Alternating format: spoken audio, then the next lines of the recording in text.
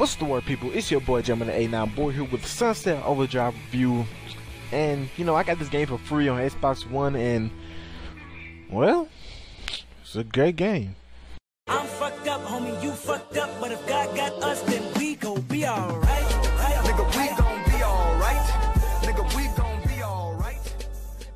Hey, who's this? Our new partner. Well, all right.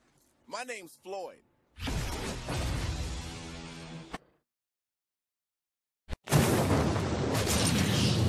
Story Sunset Overdrive story stars your created character in a orange soda zombie apocalypse. Basically, everyone drank this type of energy soda turns all to these little zombie creatures called ODs. So yeah, basically your character meets up with some other survivors, stuff, does missions, tries to build things to get out of the city, and yeah, it's a pretty simple story. You know, just trying to get out of the cities.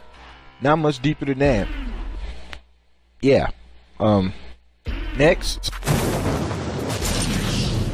Gameplay. Sunset Overdrive is a third-person open-world shooter where you be using the environment to get around the area.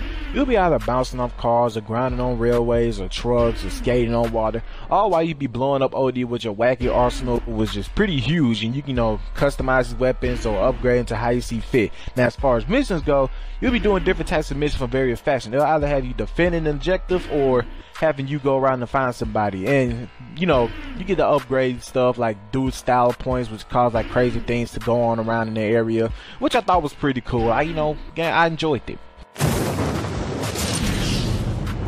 Likes. Two of my favorite things that I loved about Sunset Overdrive was one how stylish the game is. I love swinging on the rails and you know like swinging on them, pulling the shotgun out and blowing the enemy away.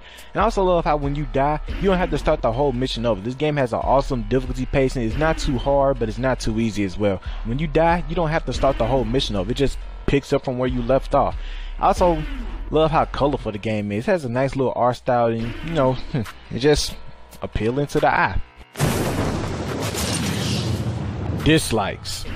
A couple of things I really didn't like about Sunset Overdrive. This game has a nice little handful of defend the objective missions. And I know damn well in video games I hate protecting shit. Also, this game has like this little co-op mode, which from what I thought you could play the whole story mode together with a couple of people, but turns out no, it's just doing a bunch of random missions, which I thought was really stupid. I really wish they would have did an actual co-op story mode. That would have been great.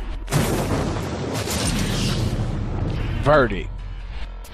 In my opinion, Sunset Overdrive deserves a 10 out of 10. Now, I know some people are going to be like, damn, J Money, you throwing out 10 out of 10s. Understand this Sunset Overdrive is one of the few games that I enjoyed that I didn't get frustrated with at all. Now, would I recommend you pick this up at full price? Hell yeah. Matter of fact, you should definitely get it now on Xbox One while you can because it's going to be free until May 1st. So you uh, better cop this right now. But even when it's not free, it's like $40, which I still think is a reasonable price for this masterpiece of a game. I really hope Microsoft is in development for a Sunset Overdrive 2. I mean, this game was awesome. I wouldn't mind seeing a sequel, but I'll wrap this up. This been your boy Gemini A9 Boy. I'll see you guys tomorrow with Naruto. I'm out this bitch. Peace. Okay, now love to all the teachers that said I wouldn't be shit. Love to local rappers that said I wouldn't be shit. Love to all my kindness for a weakness. I made it through the pain. All of y'all deserve to see this just to